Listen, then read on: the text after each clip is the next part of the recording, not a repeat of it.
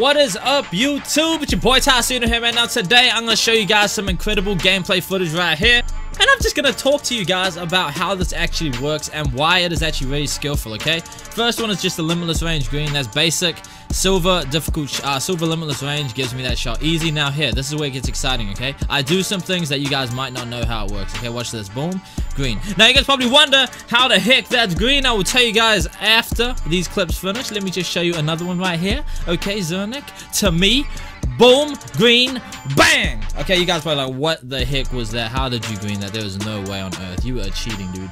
What is that? Is your build like super overpowered? What are you doing? Alright guys, and obviously that's a green. You guys know my fader is my good shot. Now, I'm just going to talk to you guys about the secret to green lighting in NBA 2K19 right now, okay? This is big. So basically, 2K this year introduced a massive skill gap to the game, okay? There's a huge skill gap when it comes to defense. And this is actually huge in terms of what a shooter can do. So, basically, if you rewatch these clips, I'm going to play this one in slow motion right here. Check this out. I want you guys to pay close attention to how early these guys jump, okay? Watch this.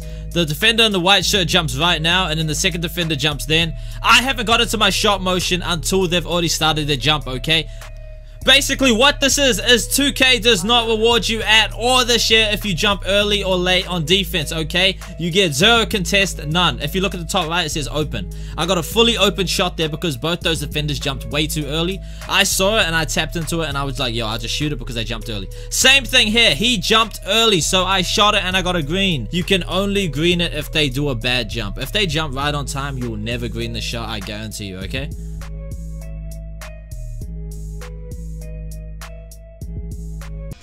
Okay, here we go. Now I got something real exciting for you guys, man. Zach, go up TWG. Jimmy, TWG. 52 and 8, 50 and 9. Glass cleaner, sharpshooting, playmaker. That is some pretty decent competition, okay? This was a nice game to showcase what I do and how I do it. I'm going to show you guys exactly how I destroyed these dudes and just how I, how, what I'm thinking when I'm trying to get open and taking my shots, okay?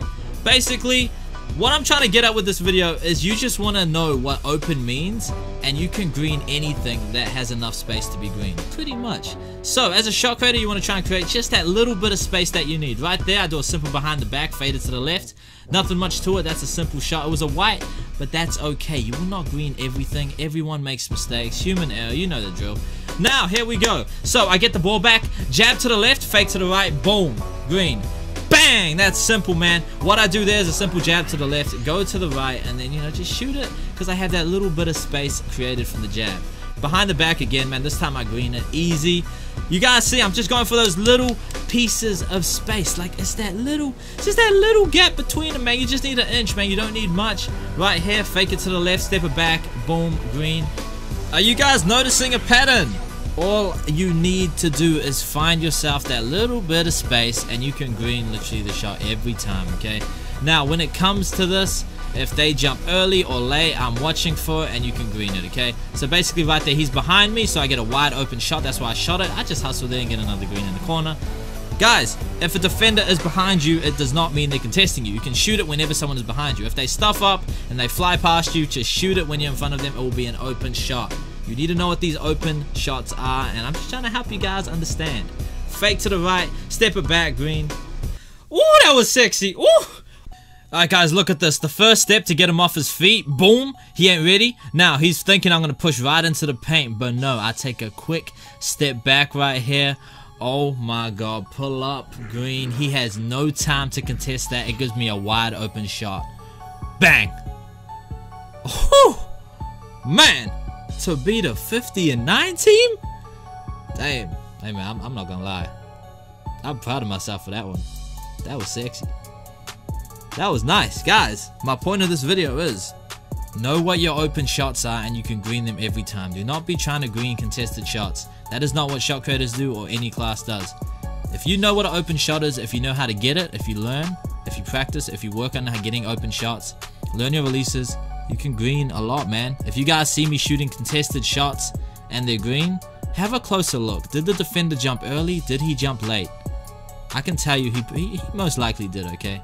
That's why the shot was green.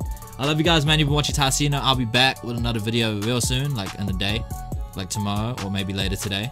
And uh, yeah, I'm, I'm into 91. I love you guys. You guys are awesome. Take care. Live, love, and laugh. Thank you for the support on 2K19. And uh, yo, I'll see you guys in a bit, man. Peace out. Live, love, and laugh. Yeah.